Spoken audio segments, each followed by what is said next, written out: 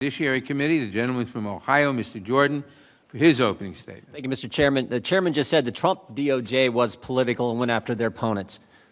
Are you kidding me?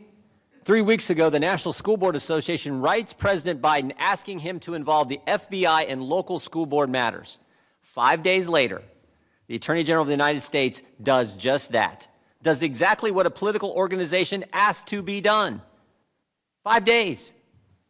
We've sent, Republicans on this committee have sent the Attorney General 13 letters in the last six months. It takes weeks and months to get a response. Eight of the letters, we've got nothing. They just gave us the finger, said, we're not going to get back to you. And all our letters were actually sent to the Attorney General. Here's a letter sent to someone else asking for a specific thing to be done, and in five days, the Attorney General does it. Here's what the October 4th memo said.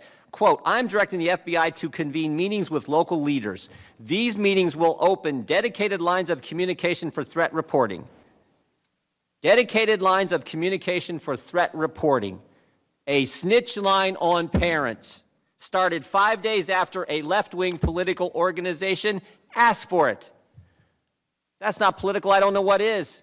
Where's the dedicated lines of communication with local leaders regarding our southern border? Something that, frankly, is a federal matter. Where's the dedicated lines of communication on violent crime in our cities? Violent crime that has went up in every major urban area where Democrats have defunded the police. Nope, can't do that. Can't do that. The Biden Justice Department is going to go after parents who object to some racist, hate America curriculum. Nope, can't focus on the southern border where 1.7 million illegal encounters have happened this year alone. A record. A record number. MS 13 can just waltz right across the border, but the Department of Justice, they're going to open up a snitch line on parents. Think about this. The same FBI that Mr. Garland is directing to open dedicated lines of communication for reporting on parents just a few years ago spied on four American citizens associated with President Trump's campaign. Clinton campaign hired Perkins Coie, who hired Fusion GPS, who hired Christopher Steele, who put a bunch of garbage together, gave it to the FBI. They used that as the basis to open up an investigation into a presidential campaign. Oh, and then there was Mr. Sussmann. Mr. Sussmann, who worked at Perkins Coie, the firm hired by the Clinton campaign. He cut out all the middlemen. He just said, I'm just going to go directly to the FBI, and not just anyone at the FBI. Who'd he go to? Jim Baker, the chief counsel at the FBI, handed him a bunch of false information, told him false information, and of course, he's been indicted by the special counsel. A few weeks ago, the IG at the Department of Justice released a report that found that the FBI made over 200 errors, omissions, and lies in just 29 randomly selected FISA applications. But don't worry, the Attorney General of the United States just put them in charge of a dedicated line of communication to report on parents who attend school board meetings. Mr. Chairman, Americans are afraid. For the first time during my years in public office, first time, I talked to the, the, the good folks I get the privilege of representing in the 4th District of Ohio, folks all around the country. They tell me for the first time they fear their government. And frankly, I think it's obviously why, obvious why. Every single liberty we enjoy under the First Amendment has been assaulted over the last year. Stop and think about it. Americans were told you couldn't go to church, couldn't go to work, couldn't go to school. Small business owners were told you're not an essential business, close your doors, causing many of them to go bankrupt. We were given curfews, stay at home orders. Last fall in Ohio, you had to be in your home at 10. In Pennsylvania, when you were in your home, you had to wear a mask. In Vermont, when you were in your home, you didn't have, a, have to wear a mask because you weren't allowed to have friends and family over.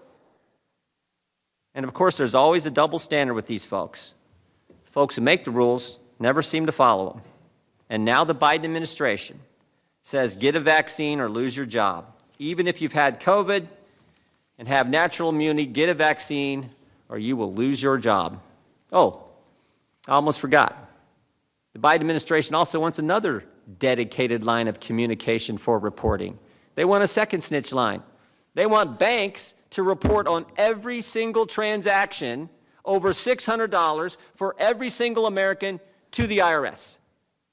The IRS, that agency with its stellar record of customer service, the IRS, you know, the same IRS that targeted conservatives the last time Joe Biden was in the executive branch. Jefferson said once, tyranny is when the people fear the government. We're there.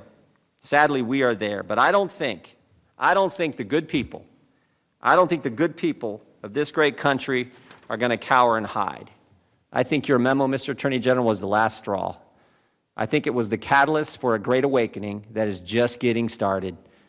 Pilots at Southwest Airlines, the Chica- the Chicago Police Union, parents at school board meetings, Americans are pushing back because Americans value freedom.